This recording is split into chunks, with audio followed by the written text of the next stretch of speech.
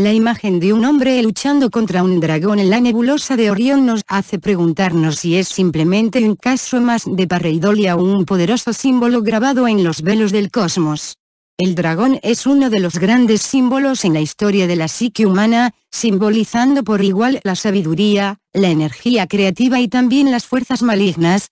para Carl Jung, el mito medieval del héroe que corta la cabeza del dragón representaba un proceso mental arquetípico en el que el héroe de su propia psique atraviesa el oscuro bosque de su inconsciente para afrontar su sombra, y los monstruos de su propia persona, para hacerlos conscientes, iluminarlos, o asesinarlos, encontrar la sabiduría de la serpiente, el kundalini, llegando a un proceso de individuación desde donde es posible crear. Tal vez como arriba es abajo y como adentro es afuera y la historia humana de manera enigmática es un reflejo de la historia cósmica, somos actores de un patrón de información, de una especie de código tanto simbólico, narrativas fractales, como matemático que se manifiesta en nosotros. Quizás las imágenes arquetípicas que yacen en el fondo de nuestra mente desde el principio de nuestra historia también yacen en el espejo del universo, como pinturas rupestres en la cueva del espacio sideral. Una tendencia de las formas primordiales y de las grandes narrativas simbólicas a dibujarse en una mente que no necesita de un cuerpo para grabar su memoria.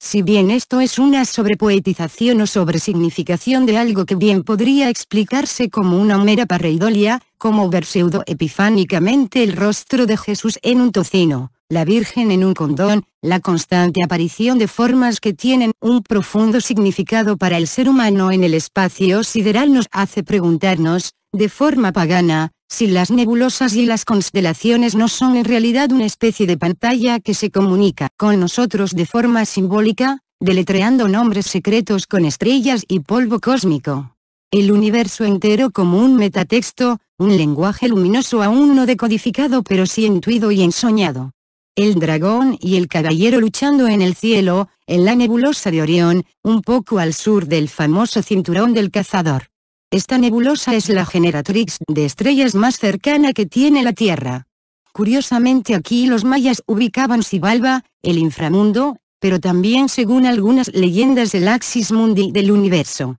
En la mitología moderna, los llamados reptilianos, supuestos overlords planetarios, provienen de Alpha Draconis, en la constelación de Orión. La simbología no es poca, debe el hombre descender al inframundo para luchar contra el dragón y liberarse del yugo de Ones para convertirse en el creador de un nuevo orden cósmico. ¿Es Orión una especie de estampa postal del gran programador en un universo donde todo está vivo y comunicándose?